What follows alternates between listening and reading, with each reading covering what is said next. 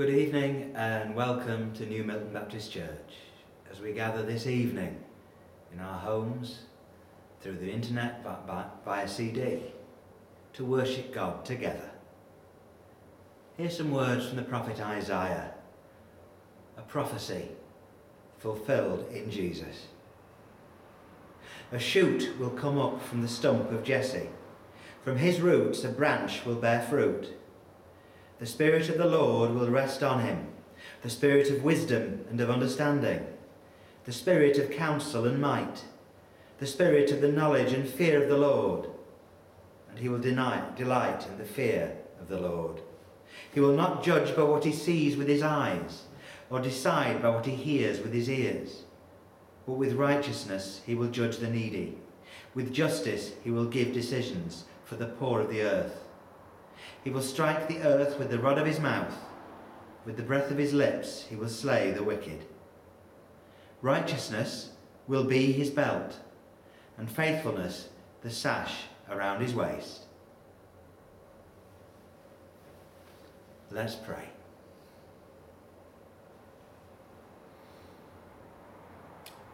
Heavenly Father, as we gather in the name of Jesus, the one who is that shoot from the stump of Jesse.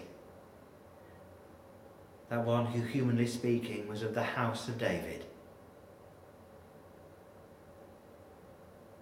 But that one who was and is God made flesh, fully God and fully man. And we come in his name, the one who was the sacrifice for our sins, to worship you tonight. Father, we ask that you will give us the grace to worship, to worship you, Father, Son, and Holy, Holy Spirit, that we might be drawn into your presence, that we might perceive you with our hearts and be drawn to worship. We ask that you, by your Spirit, would speak into our lives, that your word would be living and active for us tonight, that we might meet with you, worship you, and be transformed. That we might become what we can be in you. Yet, Father, even as I say that, so we recognise that we've thought, said, and done things that have fallen short of your standards. We've sinned in thought, in word, and in deed. And so as we come, we come confessing our sins.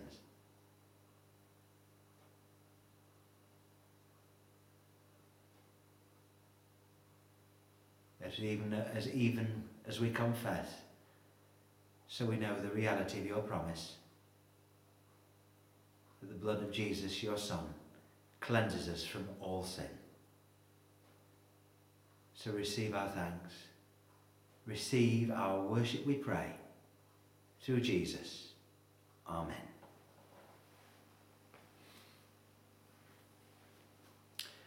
Now, in the evenings, we're, we're looking again at the, uh, the letter to the Ephesians. So if you'd like to find in your Bibles, Ephesians chapter 6, and I'll be reading verses 10 through to 20. Now, you might like to keep your, your, uh, your Bible open at this page. So, reading from verse 10 Finally, be strong in the Lord and in his mighty power. Put on the full armour of God so that you can take your stand against the devil's schemes. For our struggle is not against flesh and blood, but against the rulers, against the authorities, against the powers of this dark world, and against the spiritual forces of evil in the heavenly realms. Therefore, put on the full armour of God, so that when the day of evil comes, you may be able to stand your ground, and after you've done everything, to stand. Stand firm then with the belt of truth buckled around your waist, with the breastplate of righteousness in place, and with your feet fitted with the readiness that comes from the gospel of peace. In addition to all this, take up the shield of faith with which you can extinguish all the flaming arrows of the evil one. Take the helmet of salvation, which is the sword of the Spirit, the Word of God and pray in the Spirit on all occasions, with all kinds of prayers and requests. With this in mind, be alert and always keep on praying for all the Lord's people.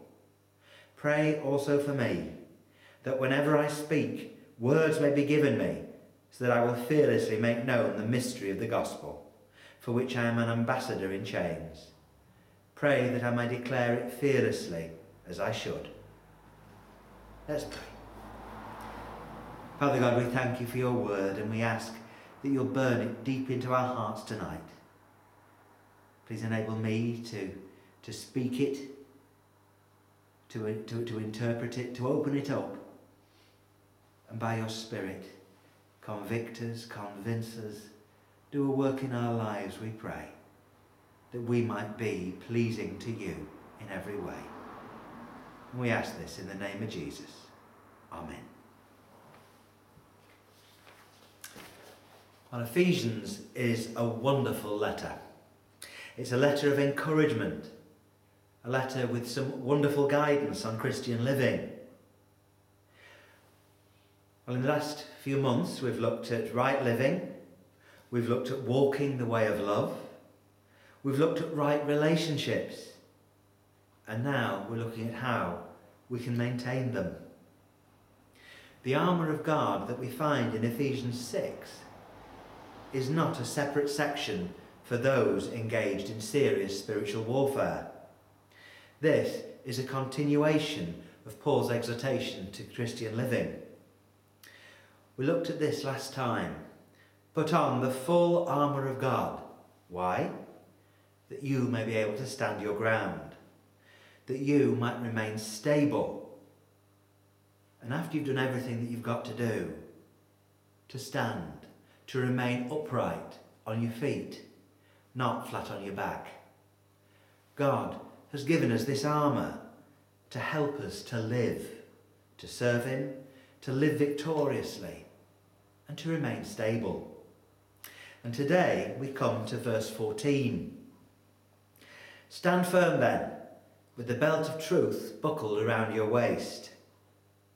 Well, this is the first item in God's panoply, his armour and weapons the belt of truth. And verse 14 reads literally Stand firm, therefore, girding around the loins of you with truth. Well, the literal translation is somewhat more earthy than the sanitized version that we have in the NIV. The call is to stand firm, girding our loins with truth, and seeing how earthy the literal rendering is, actually, in my view, makes it much clearer. A person's loins are the place where a girdle is worn. The loins are the most vulnerable part of the body, the place where the reproductive organs are. The loins have been the downfall of many an unwary Christian. Well, this is an unpalatable truth. The loins can be seen as the source of the desires of the flesh, the most sensitive, secret area of our personalities.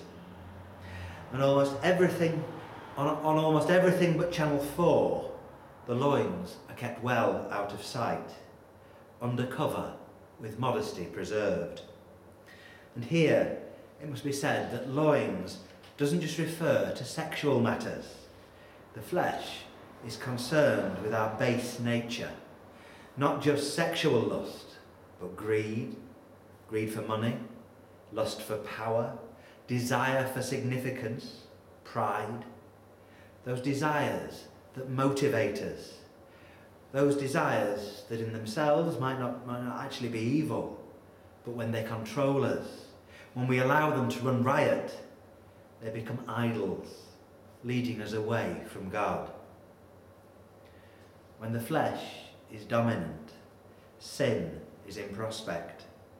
The desires of the flesh are actually fundamentally selfish. They're self-centered and they're the root of all kinds of sin. Sexual lust has been the root of adultery and all manner of sexual impropriety that's brought Christian leaders down. Pride and the lust for power has been the cause of division and the ruin of many churches. And these desires lie hidden in the loins, in the deepest secret places of our personalities. These are the desires that we keep hidden, often even from ourselves. We deny the reality and the power of them, and in doing so, we don't take precautions. We leave ourselves open to all sorts of temptations, which, if not taken seriously, can lead to our ruin, as they have done for so many apparently upright Christians. Our struggle is not against flesh and blood, but against the rulers, against the authorities, against the powers of this dark world, and against the spiritual forces of evil in the heavenly realms. There is so much more to this world than what we see with our eyes. We are spiritual beings. We're created in God's image. But God is not the only spirit who is at work in the world. God is God. He's almighty. He's holy. He's the creator of all things. He's the one who holds all things together by his all-powerful word. He is God, the only God, and there is no other.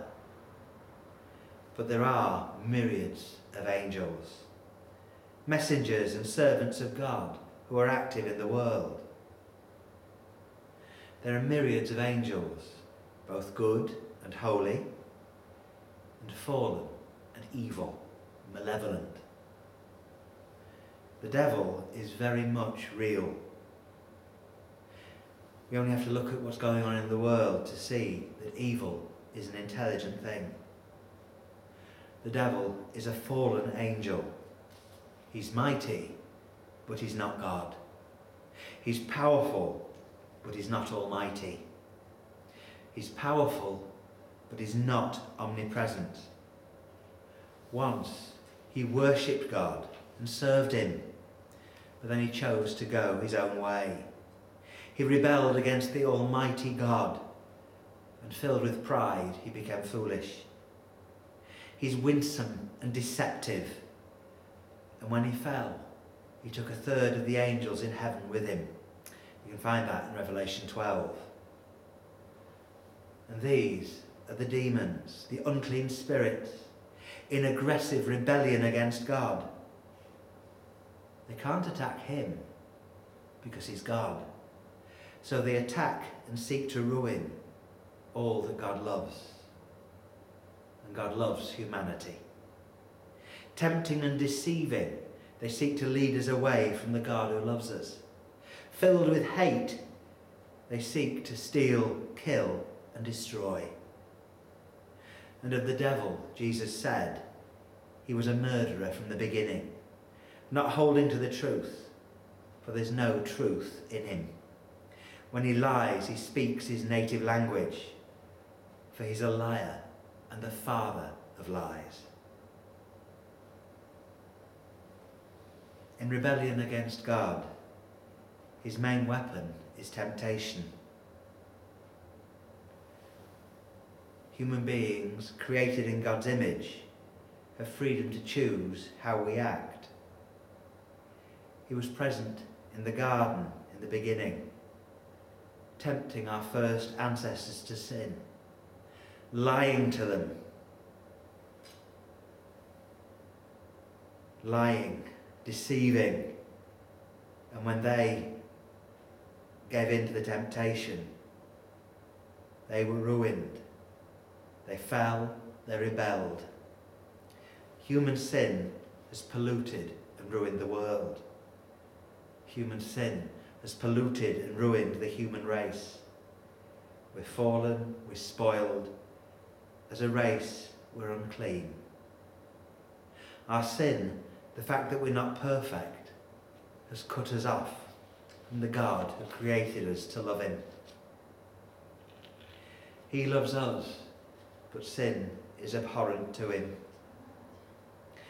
God cannot tolerate sin by nature. The Ten Commandments, the law of God, stands to show us that we can't make it on our own. We sin, we break the commandments. God's law sh- that shows us how to live, how to live in harmony with God and with one another. And those same commandments become a charge sheet against us, highlighting our guilt, the laws that we've broken. But wonderfully, God has dealt with the problem of sin once and for all. He loves us and doesn't want anyone to perish. He loves us, and in Jesus, God made flesh. He's dealt with, the, with our sin himself. Jesus was and is God. In him, all the fullness of God lives in bodily form. Jesus lived the perfect life, a life without sin, and then he died for our sin on the cross. He died for us. His death is our salvation. Through the cross, he forgave us all our sins, having cancelled the charge of our legal indebtedness, the list of commands that we've broken, which stood against us and condemned us. He's taken it all away, nailing it to the cross.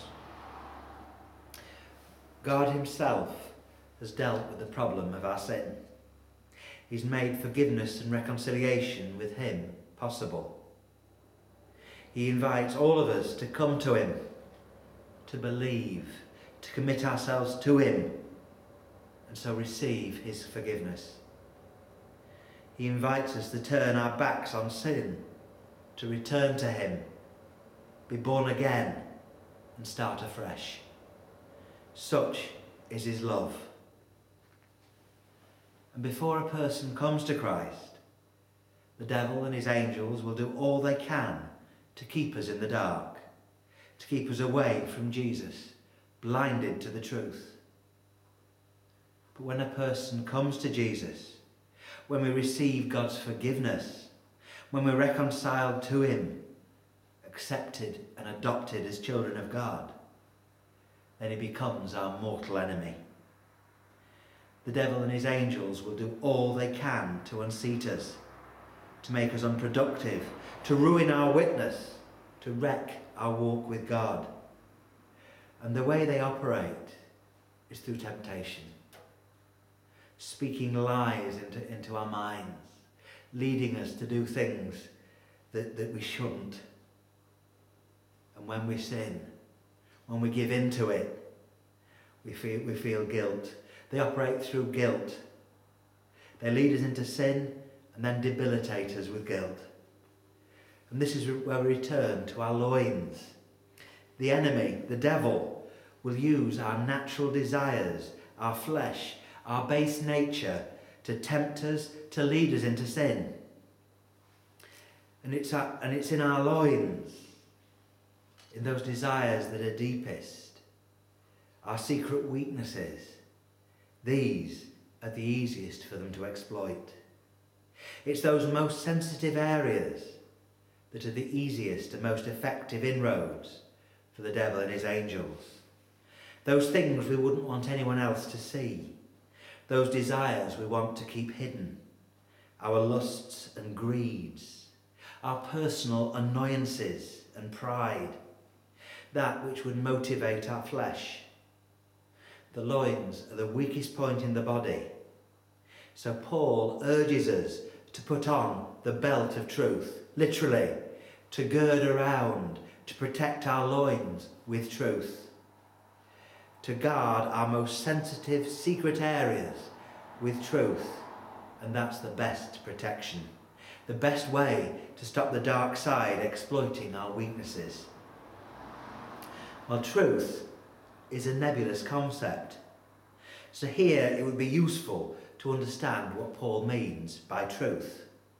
And the Greek word he uses, aletheia, has two main meanings, and both are very useful in keeping ourselves standing, in protecting our loins, our most secret heart and desires. Well, the first meaning of truth in this instance is the quality of being in accord with what is true. I'll repeat that. The quality of being in accord with what is true. To put it more simply, it's truthfulness, dependability, uprightness. We gird our loins with truth as we're truthful about them. We do not seek to conceal our weaknesses. We face up to them. We're honest with ourselves. And a good way of doing this is having someone to be accountable to. Now, we don't need to confess our sins to a priest to be forgiven. In John's first letter, we're told to confess them to God. We don't need another intermediary. But James urges us in his letter confess your sins to one another and pray for each other so that you may be healed. This isn't confession to be forgiven, it's confession to be accountable, to take our weaknesses seriously, to pray for one another, to bear one another's burdens. We live in accordance with the truth. We don't deceive ourselves, and that way we don't fall. The second meaning of the word that Paul uses here, that's translated as truth, is the content of what is true, the truth itself. And in this context, the truth is the Word of God. We gird our loins with the truth. We're careful to live according to the Word. And the way we do that starts by reading it. How else can we understand what sin is? How else can we, can we know how to live? How else can we learn to avoid temptation? The Bible, the Word of God, is living and active. It's supernatural. This isn't just words, this is the very breath of God. As we read it, as we engage with it, it actually transforms us. The Bible is God breathed, the very breath of God. And when a Christian engages with it, the Spirit of God applies it and breathes it into us. It gets to the heart of the matter. It judges the thoughts and the attitudes of the heart. As we read and engage with the Bible, God speaks into our lives. Now, it's been said that we do not study the Bible, rather, the Bible studies us. And as we engage with it, He holds it up against our lives as a standard. It exposes our failings and our weaknesses, but not to condemn us, not for us to feel guilt, rather to transform us. As we see where we fall short, so we pray. We share with someone, and it's really good to have a soul friend someone faithful, someone godly, someone who'll speak the truth to us, not what we want to hear, but the truth. Someone that we can, we can use to hold ourselves accountable. And as the word exposes, so we seek help.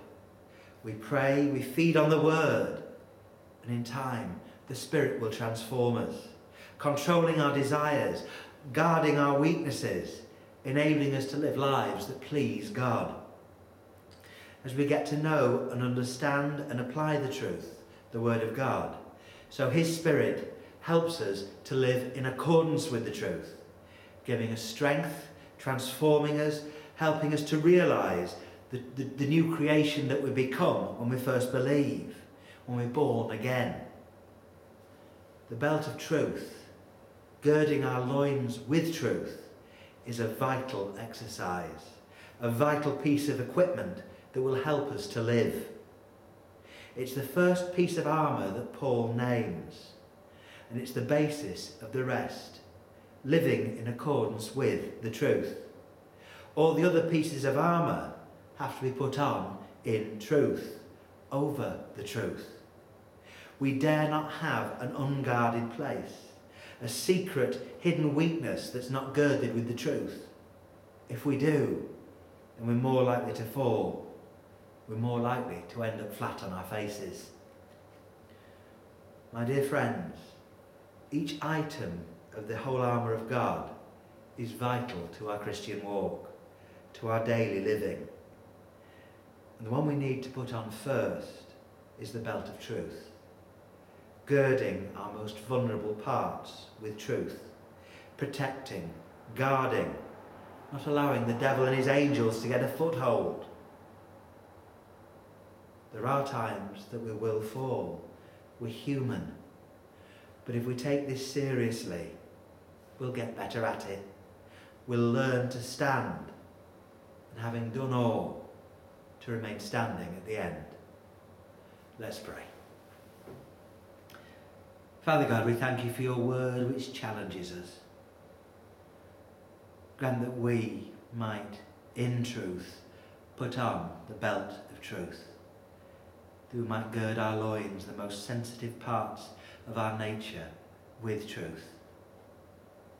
Father, grant us that, that we might learn to stand, that we might stand firm and become the people you desire us to be. And Father, we ask this in the name of Jesus. Amen.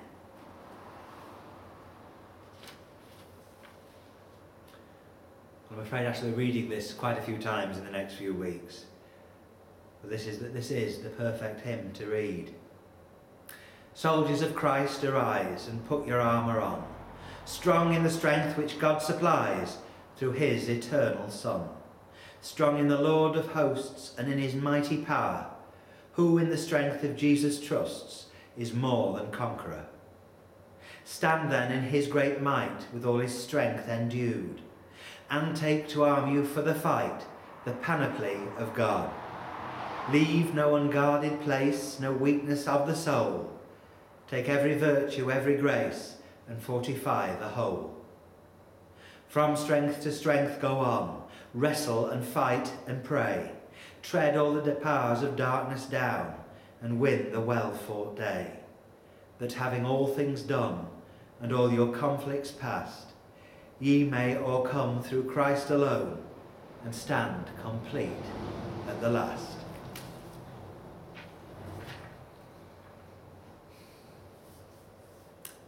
Now, let's, let's bring our prayers for others. Let's pray.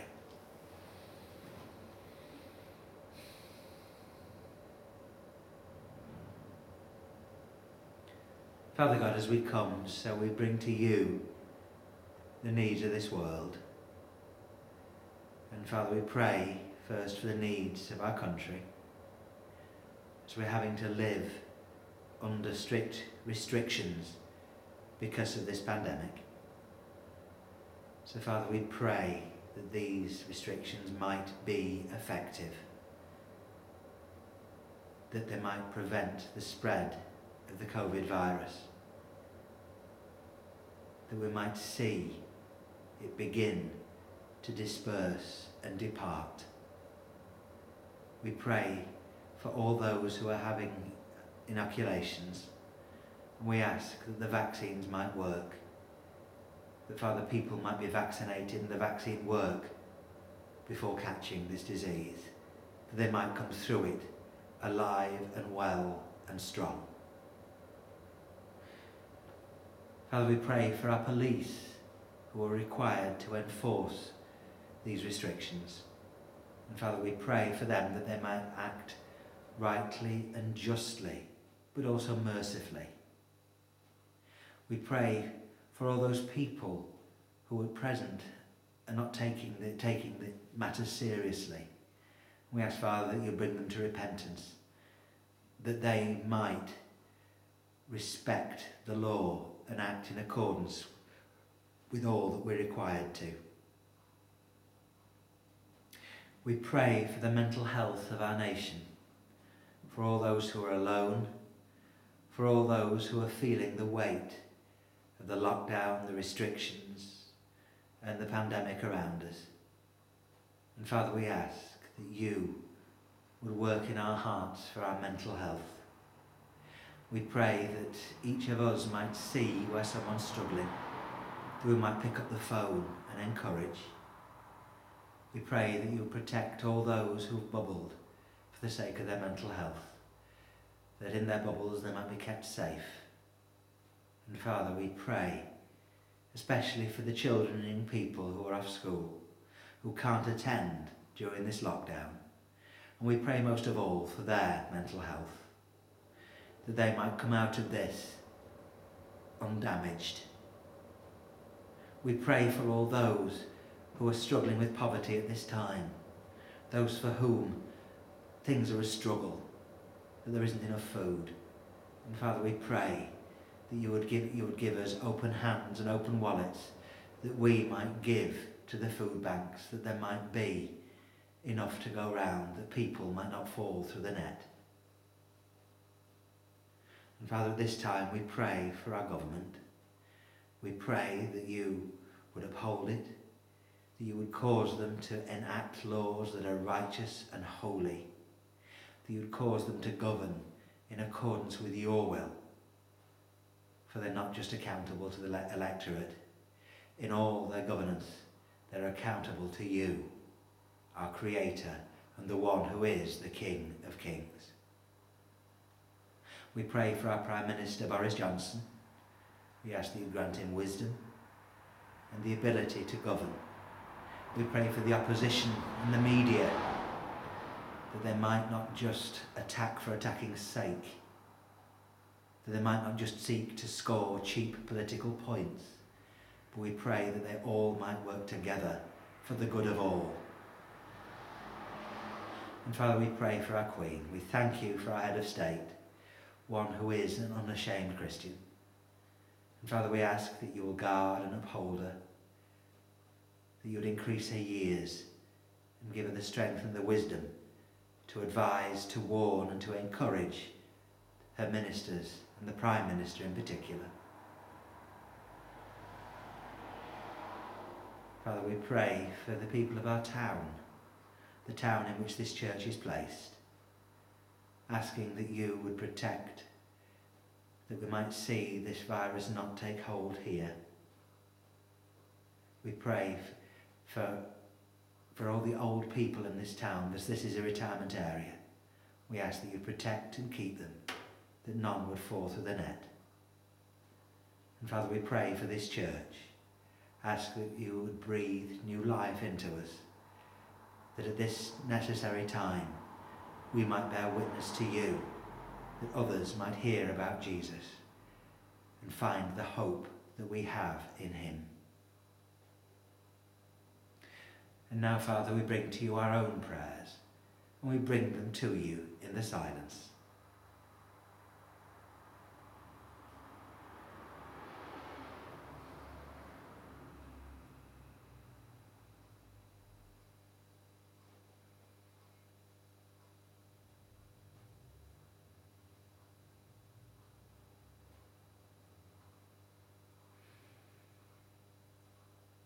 Now, Father, we bring to you all our prayers, the spoken and the unspoken, knowing that you've heard us, because we pray in that precious name of Jesus.